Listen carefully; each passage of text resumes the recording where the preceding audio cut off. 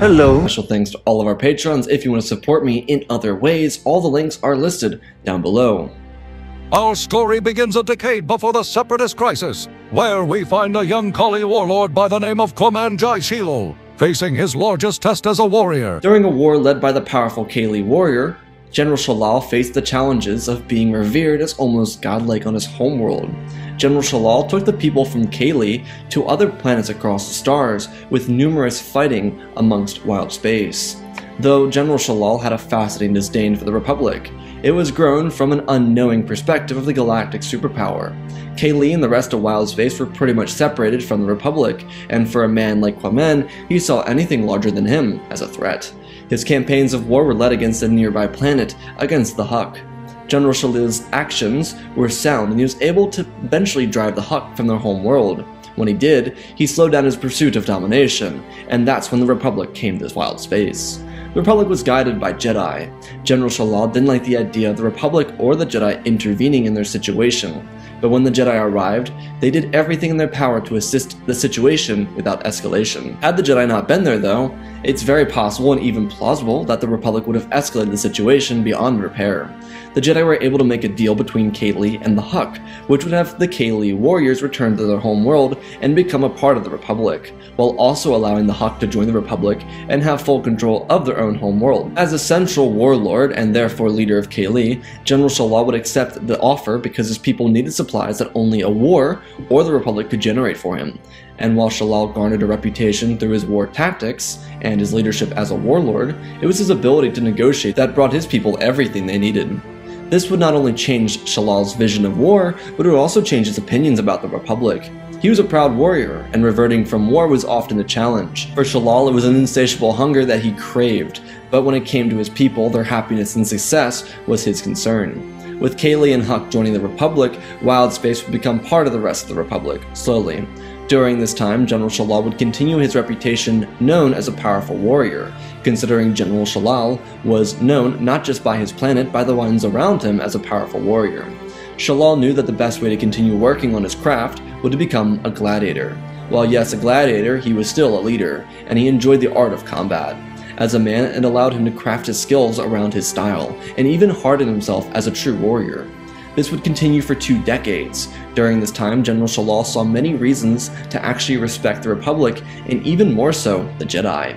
His respect for the Jedi was outlined by their ability to help those around them, something that he as a leader understood. The desire to care for those who otherwise would be helpless without them. Though, as much as Shalal respected the Republic and the Jedi, he had no issue picking a fight or laying down the heat when he needed to. He continued to lead his world peacefully, but he never backed down from any challenge many of which would come his way because of his position as a leader of the planet and that of a gladiator. When the Clone Wars began, Shalal believed it was his duty to defend his people from the Separatists.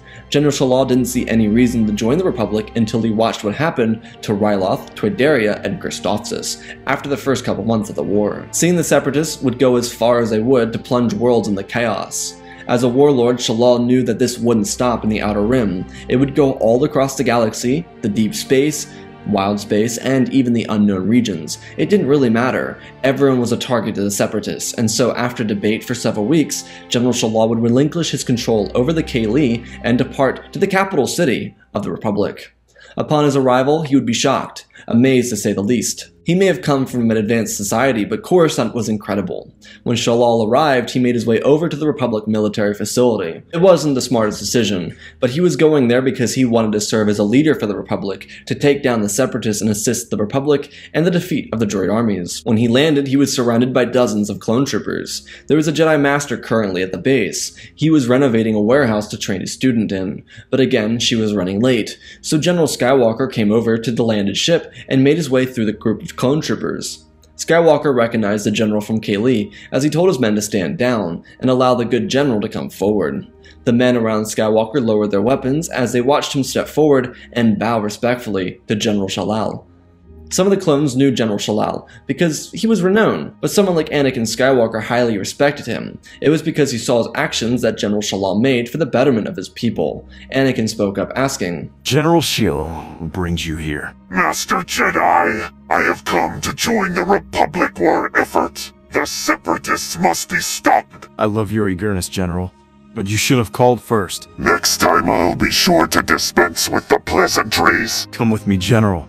I'm training my student, but afterwards I'll point you in the best direction. General Shalal followed Anakin to the warehouse where they found Ahsoka.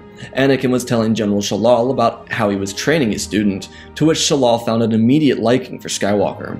The way that Skywalker, as a Jedi, understood the cost of war was fascinating. Shalal could also tell that Anakin was young, but he was very genuinely surprised to see such a young Jedi have an intense study on a warlord, especially one that hadn't been a warlord since Anakin was born.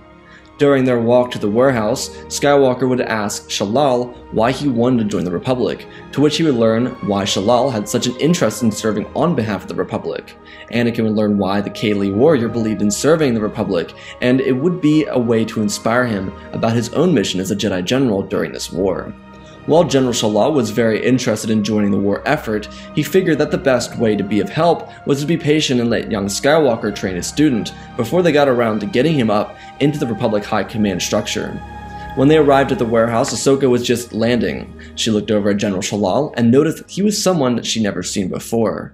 Anakin called Snips over to the center of the warehouse and told her what she would be doing, telling her the importance of the exercise. As General Shalal watched the young Jedi begin her training, he was very impressed, not just with her abilities, but with Skywalker's training techniques. While Shalal wasn't familiar with the tactics of training a Jedi, he did realize that this was a more unorthodox method based on the reaction that Ahsoka gave for being trained in this fashion. When Ahsoka was eventually shot by clone trooper Jesse, Skywalker and Shalal would talk about everything they would do once Ahsoka was finished training.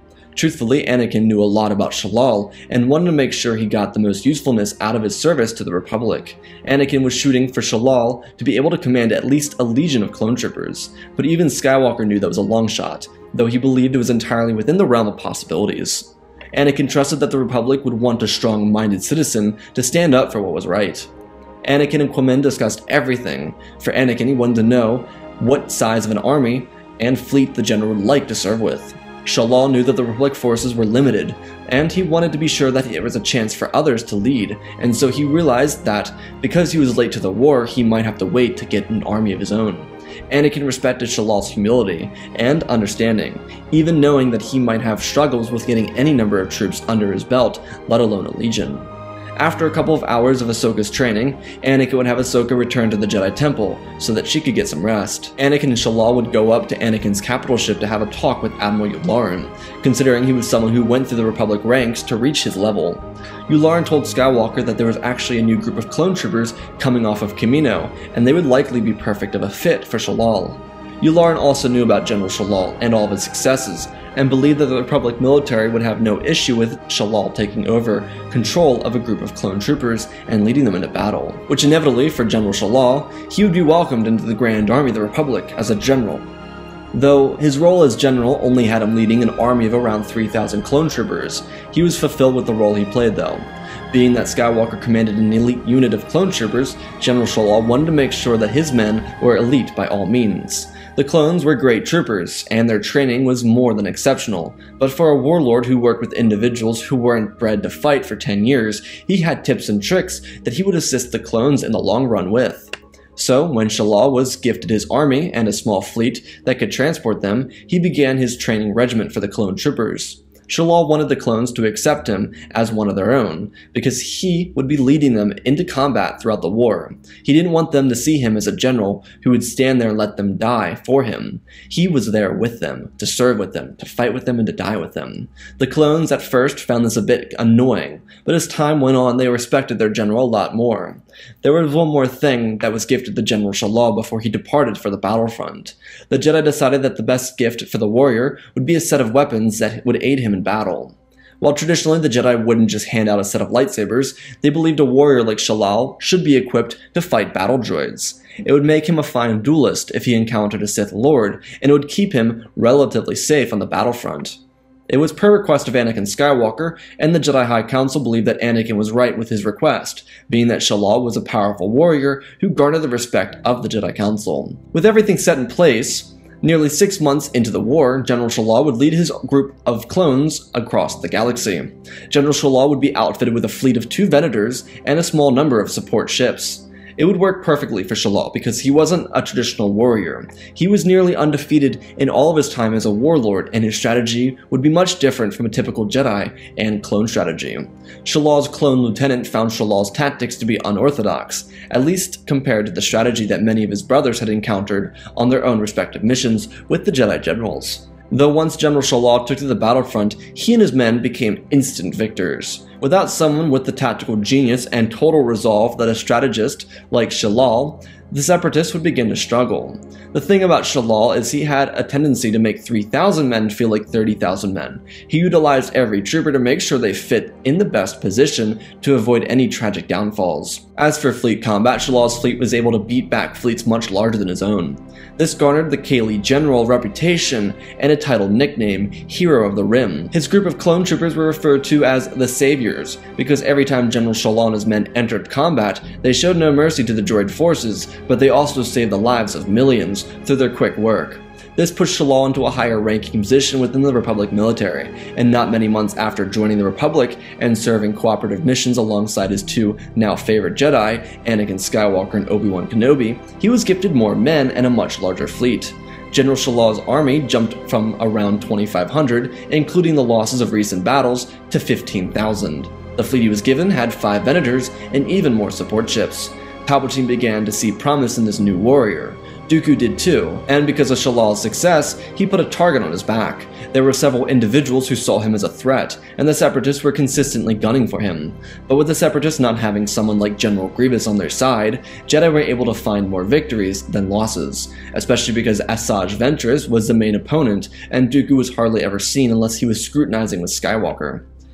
Regardless, Shalal's tactics won him the attention of the galactic media. Anakin Skywalker, Ahsoka Tano, Obi-Wan Kenobi, and General Shalal were headliners across the Republic as heroes of the Republic. They often served together, but when they weren't together, they were individually carving up the Separatists. With Shalal on the side of the Republic, the Separatists couldn't really afford to fake lose their war effort, because he was gunning for their capital. Though Palpatine pulled Shalal away from Raxus midway through the war so they could help lead an invasion on Geonosis, which was fine, but to Shalal he saw this as almost failure to try and accomplish victory. Not saying that Shalal would have easily captured the planet, but he saw this as a very weird choice by the Chancellor, especially since Anakin, Obi-Wan, Luminara Unduli, and Ki-Adi-Mundi were scheduled to lead the assault on Geonosis. It's not like the Jedi needed a fifth army to capture the planet, especially because with Grievous present, the siege itself only took a matter of a day and a half. When Shalal returned to the front near Raxus, the Separatists ramped up their forces to an extreme. Several of the largest ships in the Separatist fleet were stationed outside of Raxus. Shalal thought this to be weird mostly because he found a back road into Raxus when he was pulled away from combat. It couldn't have been a coincidence, but the Separatists, as far as he knew, didn't know he was there. So them setting up a counter fleet in the back route to Raxus was rather odd.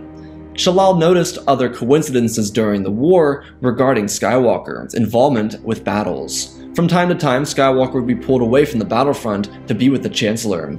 Those battles tended to become the bloodiest battles of the Clone Wars for the 501st. It's not that they couldn't manage without Skywalker, but it was a fact it was a battle itself. How entrenched the Separatists became during the battle, and how the chances of Skywalker being killed during those combative pieces were much larger than normal. Shalal also paid great attention to the political moves of the Galactic Republic, because midway during the war, the Republic and the Separatists almost came to peace, when the power grid of Coruscant was bombed. While Shalal was filling out his mandate to the Republic, he couldn't help but notice that something larger was at play here. He began to document the coincidences, and he kept them locked in a private file that he shared with his clone lieutenant. The clone lieutenant didn't look at the files, he just knew that he had access to them if he wanted them. Though from time to time, Shalal would talk to Skywalker and Kenobi about these coincidences, a lot of the time bringing up the fact that Skywalker was leaving the battlefront per request of the Chancellor on the worst battles. Kenobi had noticed this, but he didn't say anything until Shalal brought it up to him. Though he made a point to tell Shalal that Anakin and the Chancellor were good friends, and it could have been the reason as to why he was being pulled from combat. Though the fact that the Chancellor pulled Shalal from Raxus for the Battle of Geonosis was a bit odd in Kenobi's opinion. Kenobi made a point to address his concerns to the High Council.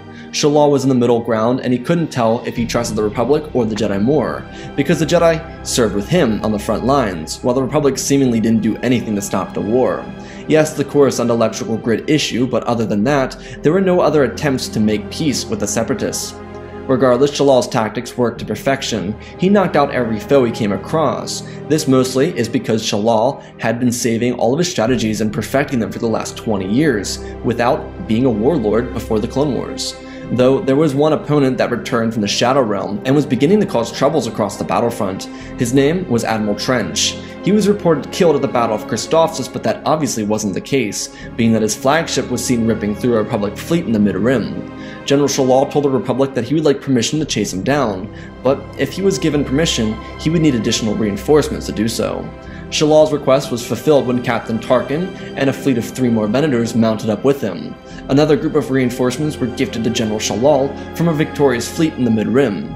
The Jedi General with the group mounted up with the General and Captain as they began discussing how they would chase down, attack, and defeat Trench.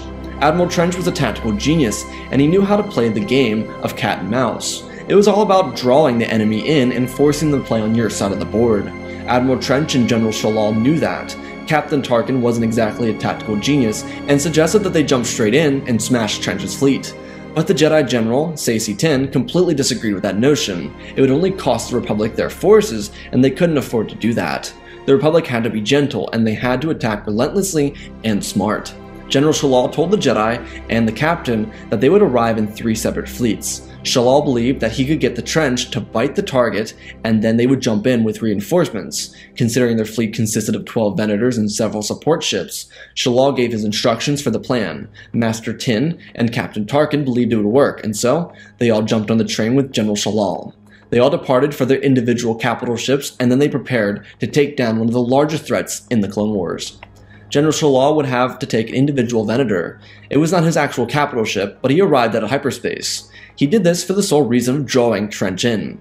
Shalal would lead an attack, arriving in a singular Venator with two Arquitens around him. To Trench it appeared as if a scout fleet entered the wrong system. From there, Shalal would have to have his fleet put its full shields on to hold out while Trench and the rest of his fleet surrounded the smaller Republic fleet. When it all seemed lost, Captain Tarkin and five Venators would arrive at a hyperspace from the left flank, as Saesee Tiin with six other Venators would arrive from the other side of the flank. Admiral Trench would be caught in a crossfire, and with the battle in full effect, all the fighters would launch from General Shalal's ship and go into full offense.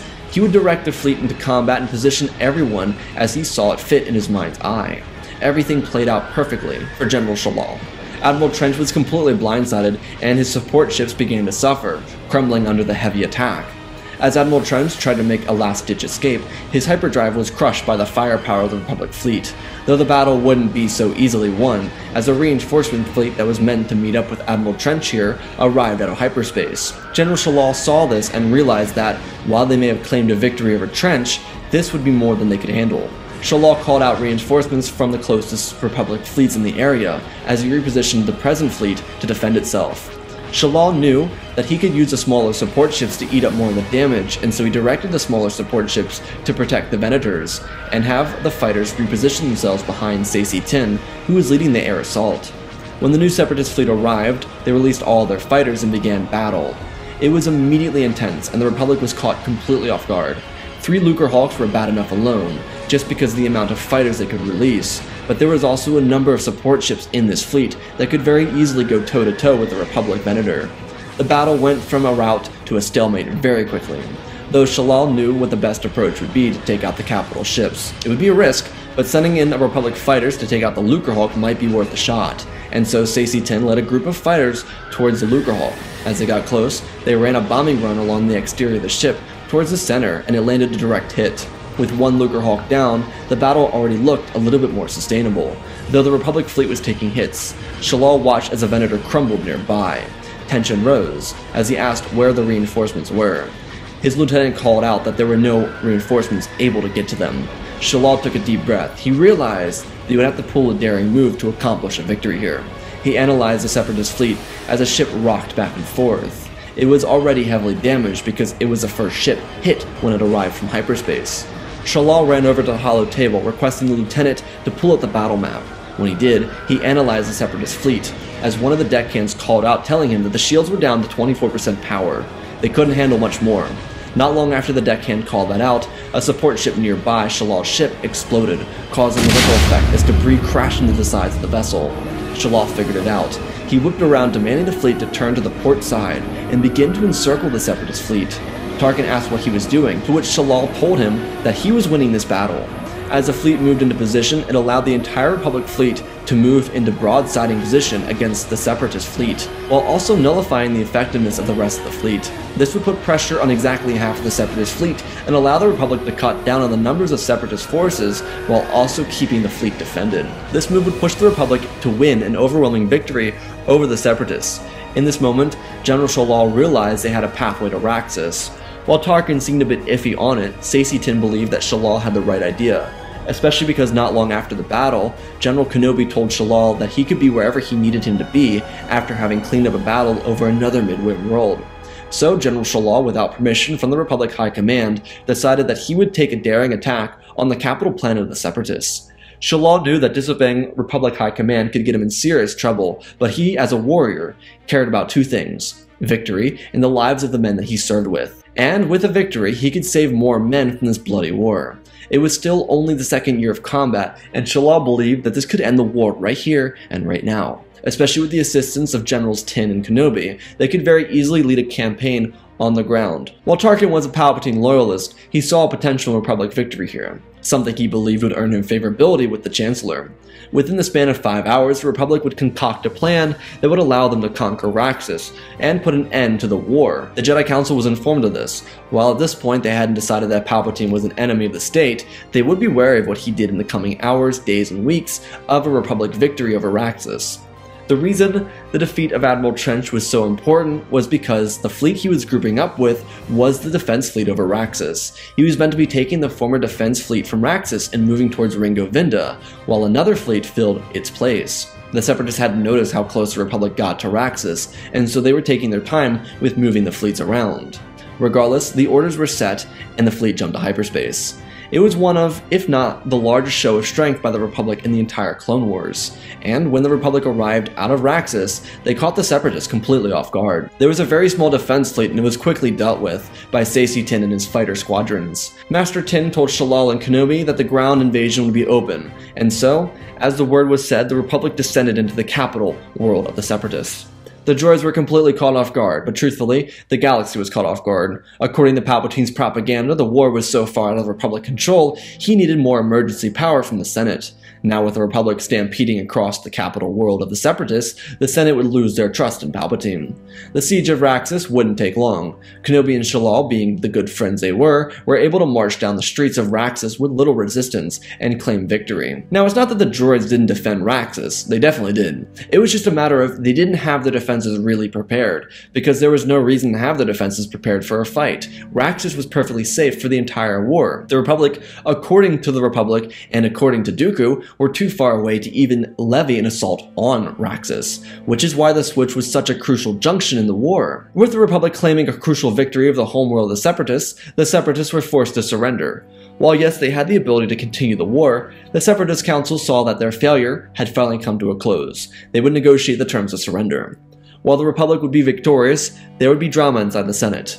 The biggest issue, not being the terms of surrender, but the fact that the Chancellor was levying propaganda on the people of the galaxy to get himself more power in the Senate, which ended up working out for him. So, the Senate was on the verge of forcing Palpatine from power. They really had no issue with it, because truthfully, it would be better to have the Chancellor that didn't want to prolong a war for power, in power during these times of peace. Plus, getting rid of Palpatine would likely mean the Separatists would take a smaller deal, and so a day after a victory on Raxus, Chancellor Palpatine would be voted out of power in a vote of no confidence, and in his place would rise a senator from Pantora. She was a rising star in the ranks of the Republic, and while her views weren't always backed by everyone, she had a strong assertive voice that could appeal to both sides of the aisle especially as someone to speak for the Republic in this crucial time. Her name was Senator Riyo Chuchi. She threw her name into the hat and didn't expect to be pulled, but she was the main choice between the other senator who represented the banking clans. And the truth is, the Republic didn't really quite trust the banking clans with policy making, especially when it was discovered that they were sided with the separatists. Though, when the peace treaty began, everything started to dissolve for the Separatists. While Palpatine, having been thrown out of office, retreated to Serenno, the Separatist alliance began breaking apart. In the middle, still a part of the alliance, was the Trade Federation, but the banking clans, Techno Union, and Geonosian Industries pulled out of it. All that remained were a few smaller groups and the Commerce Guild alongside the Trade Federation. This was a large issue, mainly for Palpatine, because while the war may have come to an end, he lost a majority of the forces he could wage war with. He was extremely dissatisfied with the outcome of this war, mostly because it heavily disfavored him, and he suffered because of it. With the ratification of the Treaty of Bothawui, the Republic and the CIS would join together in peace, uniting under one Republic. This also included the joining of the Neutral Systems Coalition to align itself with one government in the galaxy, which would inevitably lead Obi-Wan Kenobi being sent with the 212th to liberate Mandalore from the Death Watch and from Darth Maul. It would break treaties, but overall it would be a redemption tale for Kenobi, having lost the love of his life to Maul on Mandalore. Kenobi would defeat Maul, and the 212th would defeat the Death Watch, ending the rule of terror. With everything realigning for the forces of good in the galaxy, Palpatine and Dooku would begin their brainstorming of ideas of how they would defeat the Republic. The Trade Federation and Commerce Guild retreated into the depths of the galaxy. They stood tall, but when their allies ditched them, their confidence dropped to an all-time low. They no longer had the confidence to stand up to the will of the Republic. Mostly because, how could they? The Republic was united as one, and they had nothing to fight for. Their little rebellion was squashed, and that was simply it. The end of the war didn't just mean an automatic end to conflict, though. The Jedi were being sent out into the galaxy to track down and destroy the Sith. The end of the war came at a great time, because it stopped Jedi Padawan Barriss Offee from bombing the Jedi Temple. This would keep Ahsoka Tano as Skywalker's student as the search for the Sith began. Though inside the Sith layers on Serenno, there was deceit brewing. While Sidious moved locations and went into hiding because of his public persona being destroyed, he was trying to recommence his plans for galactic domination. It wasn't going as far as he would have simply wanted it to go, because he had to start fresh. That is until Serenno's air raid sirens began to ring. Of course, the Republic wasn't going to just bombard the planet Serenno, but the Jedi were here, because after all, this was Dooku's homeworld and they were coming to capture him for being a war criminal. And it being only a day and a half after the end of the war, the Jedi were coming to take Dooku out, because he remained a long-standing threat to the galaxy. The people of Serenno were done with him anyways, so why would they care? As Sidious prepared to depart from the planet, he was filled with a great suffering. Dooku literally backstabbed his master, because he wasn't going to play the long game anymore. Dooku was a political idealist at heart, and while he may have accidentally committed a few war crimes here and there, the only reason he ever joined Sidious was to take down the Republic, and now all that opportunity was gone. The Republic still stood. He lost everything he ever cared about, and he wasn't about to spend the rest of his life serving an ungrateful goblin who romanticized a future like it was perfectly scribed out by a greater power, guaranteeing that he would have control of the entire galaxy all a falsehood now. And with the death of Sidious, Dooku retreated into the Outer Rim, barely escaping Anakin Skywalker and Ahsoka Tano as they came to Serenno looking for Dooku. The people of Serenno were so happy that Dooku was now gone. He'd been stealing from them for the duration of the last 13 years. While yes, he had generational wealth considering his last name was Serenno, he wasn't overly kind to the people here. Skywalker and Tano would find the recently deceased body of Palpatine, and in that moment they would realize that Palpatine was a Sith Lord, likely betrayed by Dooku. Ironic, isn't it? General Shiloh would finish off his servitude to the Republic with a crushing victory over the last standing forces of the Separatists. The road would be bumpy, but the Republic itself would find peace. As would Skywalker, enjoying his secret beautiful life till the end of his, whereas General Shiloh would return to his people and be hailed a hero just as he was by his friends and by the Republic. And that, ladies and gentlemen, is our story. Again, special thanks to Benjamin Wells, Pimp Daddy Bane, Darth Cheesy, Apollo, Madman Studios, Anakin 003, Lemon Knight, Flynn Vincease, and Lord Deadwing for supporting the channel. Let's hit the thousand likes the video. I don't know what's coming next, but it is. If you want to see a what if, let me know below. Or drop comments, I'll do crossovers, check out Twitch, Community Dishwater. All the things are listed below as well. Um, let's talk about our story real quick. A Rooney. Um, also, get ready for the miniseries. Miniseries coming out soon. I'm so psyched. I am just finishing up for it. There's actually a custom intro that I made uh, because I have a music degree, and so I figured I should use my music degree um, for something since I make YouTube videos. So uh, there's a custom intro being made for that right now. I'm very excited for that series, if you guys couldn't tell. Anyways, let's talk about our story here. This was fun. I had a lot of fun with this. So uh, initially, you have to kind of set it up, and I'm going to talk about the beginning of this um, because you have to initially set it up for, you know, you have to set it up for General Grievous to want to join the Republic. And first things first, he needs to not be sabotaged by Dooku. Uh, that's like the main thing, at least in canon. I'm going by canon terms here. Is like, like in canon, um, like the when the Republic came to um, to the homeworld of the Huk, they created a, like an issue with the Kaylee, and it ended up making the Kaylee starve, and like thousands of people died because of it. And so, I wanted to reverse that situation. Say the Jedi didn't mess it up, like they always mess it up. And so, with the Jedi not messing it up, Shalal uh, doesn't become General Grievous because he doesn't get involved with Sidious or Dooku because you know he kind of revert he reverts from his way of warriors for 10 years and 10 years after that entire thing um, the invasion of Naboo happens and so he's been not technically a warlord for 10 years and so he's not on Sidious's or Dooku's radar and so that lets him become you know lets him be himself and I think that one thing I wanted to like one thing I wanted to highlight is I think we undervalue, and I, I might be I might speak might be speaking for myself here,